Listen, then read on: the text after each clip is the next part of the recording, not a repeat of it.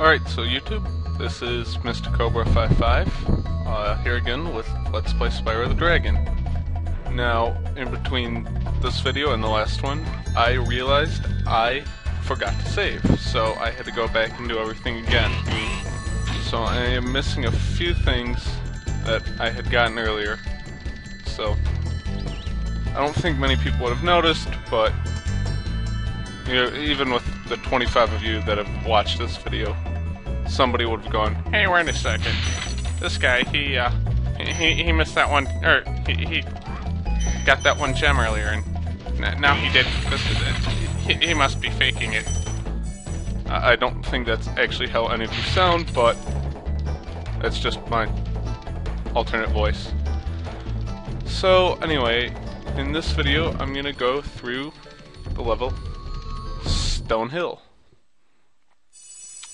Um, this is another early level, and uh, another pretty short one. It's a really cool looking level, but all the levels in this game are.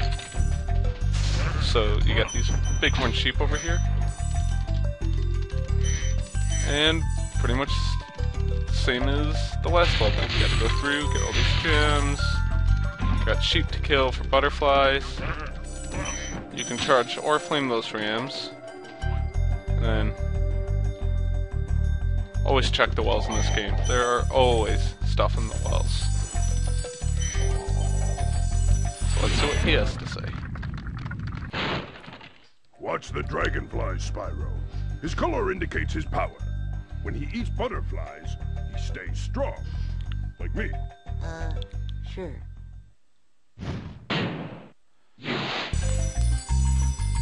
Alright, so I've mentioned that in the last video. Uh, about yeah, how your dragonfly works and he can eat butterflies. So let's see here. Uh, eeny, meeny, miny, mo. I'm gonna run down this one. Or up it, actually. Woo! Again, if you didn't see my last video, I said this already, I tend to shout random things when I'm playing video games.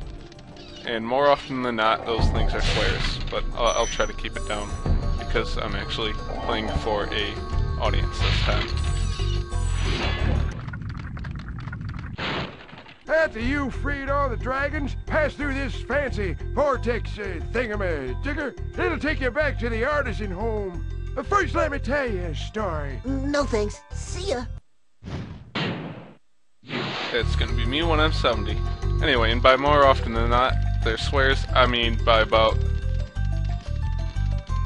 80 to 95% of the time they're swears. So, I've been kicked out of more than one person's house for swearing up a storm. Got these shepherds. I don't exactly know why they're going after me. Maybe because I'm killing the sheep for butterflies. That might have something to do with it, but if it moves, you gotta kill it. Except for your dragonfly, don't want to kill that. Not, not a good idea. Um, nope. Now I heard him earlier, and I don't know if any of you picked up on him, but there was a little thief guy. That na na na na na. I mentioned dragon eggs earlier in here to get 100%, and they just kind of carry those around, and you got to chase them down and kill them for the dragon eggs. And they're just a little bit slower than you, so they're pretty hard to catch. Spyro, my friend, how about a hint on gliding? You bet. For the longest glide, press the X button at the top of a jump, and try pressing the triangle button to drop down in mid-flight. Alright, so is it just me or is his name Glidus? I don't know, I'm not gonna watch him again, but I'm pretty sure his name was Glidus. Kind of a bad pun there let's go see if I can find that damn it thief.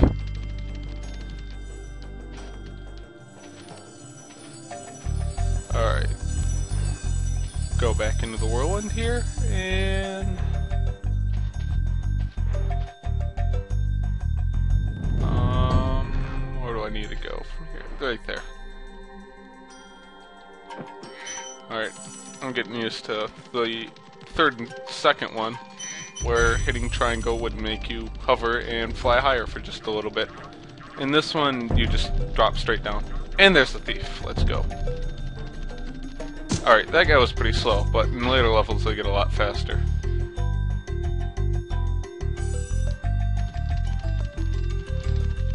So here's some more chests. Those dragon eggs, I don't remember what they do. I just remember that you need them. Uh, the number one tip for playing this game is explore everything. I mean, the worlds get just enormous in here. Not quite Skyrim big, but, well, not even close. But for a platformer, they're pretty damn big. Um, now, according to that, I need a lot more gems. So let's uh, go see if we can find them. Now, down that well, we already have the chest, so there's a few down there. I just need to find the key for that.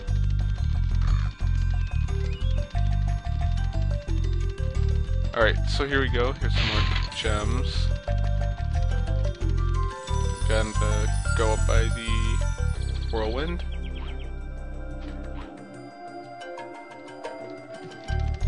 Now, the worlds in Spyro are just beautiful. I mean, this is a PlayStation game, but it looks amazing. Granted, I am using an emulator, but on my computer, which is pretty old, it usually just makes things look worse. So, there we go. And occasionally you find these huge rooms like this. Now the gems are color-coded, if you haven't caught that.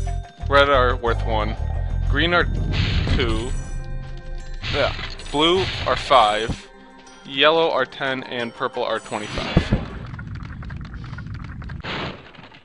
When you free a dragon or step on one of their platforms, you're saving your progress. That could be useful if you run into trouble. Not that you ever run into trouble, Spyro. Okay, yes, I did actually check the memory card on the emulator to see if it had saved. It did not. So I don't know what was up with that. So I forgot a save state and it didn't save regularly. So that's why I had to go back and get a few things. And then after that, I turned around and hit load state instead of save state, so I had to do it again. Isn't that fun? But it seemed to have worked now. Uh, okay. No, I should probably go find that key.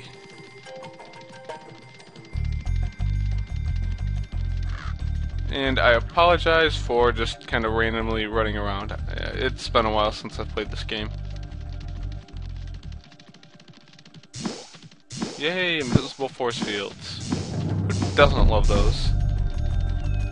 Except everybody that I know of. Always fun to see if you can get past them, which you can't. But it's fun to try. Alright. Let's go see if we can... There we go. Yeah, they like to hide gems in random places that no one would ever think to look. Like right there. I think I've already checked this, but I'm gonna go and check it again. Oh yeah, I've, I've been here. Um, let's see. Too bad this isn't live and I can't hear you because I might be able to take suggestions. I probably shouldn't have said that. But, oh well. Um, still looking. Still looking, and I still feel really weird about talking to myself like this, but Again, this is a Let's Play video, so not much I can do about that. yes, I'm doing live commentary here. Some people like to do it uh, after everything's recorded, just so that they know what to talk about and there won't be awkward silent spots. But I think it's a little bit more interesting just to do it live, see kind of what's going through exactly as you run through your head. I mean, I'll edit a few things out if I say something really bad, but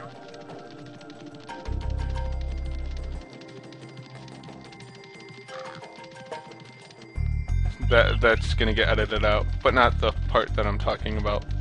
Editing it out, just so that you guys can try and guess, see what I said. All 25 of you.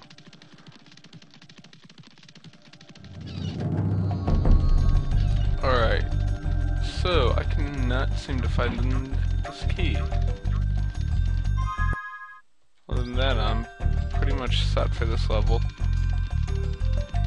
Hmm.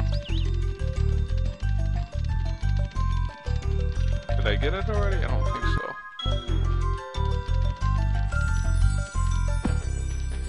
Alright, I'm gonna go check to see if I got that already.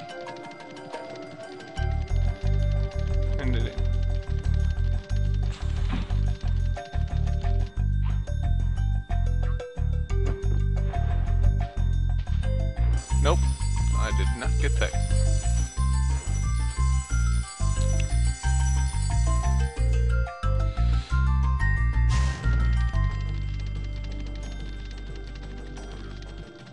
Alright, let's see if I can go back there and try and find it again. Okay, so I might not be uploading a video tomorrow. Watashi wa Nihongo o ikite maskara. Um, and I don't know if I said that right, but I'm pretty sure I just said for those of you who don't speak Japanese, because I need to go to my Japanese class. So, uh, yeah. And it's four hours long, right after school. Well, not right after school, but just after school. And I probably have a job interview, so I'm gonna be pretty busy. Who knows, I might have time after class to do it. I've been doing these pretty late at night. Alright, so I just got the key, and now time to go get that treasure chest.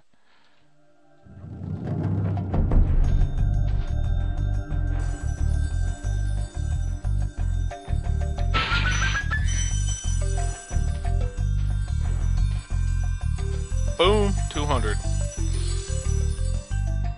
Alright, so now that I have 100% list level, I will go to the exit.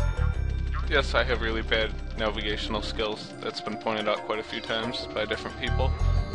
But, uh, I guess we're done with this episode of Let's Play Spyro the Dragon.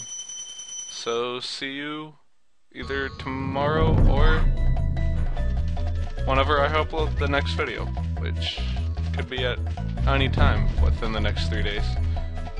Alright. Something just satisfying about chasing these guys down. Alright, well, uh, I guess I'll see you then and pick up right where I left off. See ya.